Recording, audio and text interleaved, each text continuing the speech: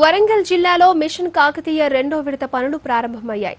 దుగ్గొండి మండలం వెంకటాపురం గ్రామంలో ఊర చెరువుకు బాగు చేయడానికి ప్రభుత్వం ముప్పై లక్షల రూపాయలు కేటాయించింది. చెరువు కట్ట తూములు మత్తళ్ళు వరద కాలువలు పూడిక మట్టి తీయడానికి ఈ నిధుల్ని వెచ్చిస్తున్నారు. వెంకటాపురం చెరువు వద్ద జరుగుతున్న అభివృద్ధి పనులని నర్సంపేట ఎమ్మెల్యే దొంతి మాధవరెడ్డి ప్రారంభించారు.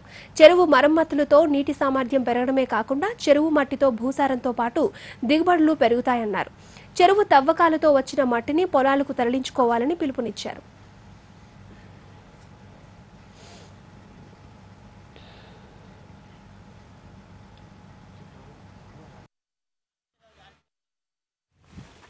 రెండో దశ మిషన్ కాకతీయ పథకములో మన యొక్క వెంకటాపురము గ్రామానికి సంబంధించిన చెరువు నిర్మాణానికి ముప్పై లక్షల రూపాయలు మంజూరు చేయడం జరిగింది.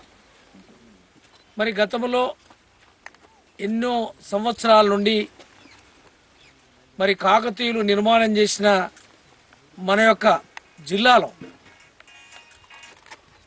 ఈ వ్యవసాయదారులంతా కూడా ఈ చిన్ననీటి వనరుల ద్వారా వరి చేనులు ఎక్కువ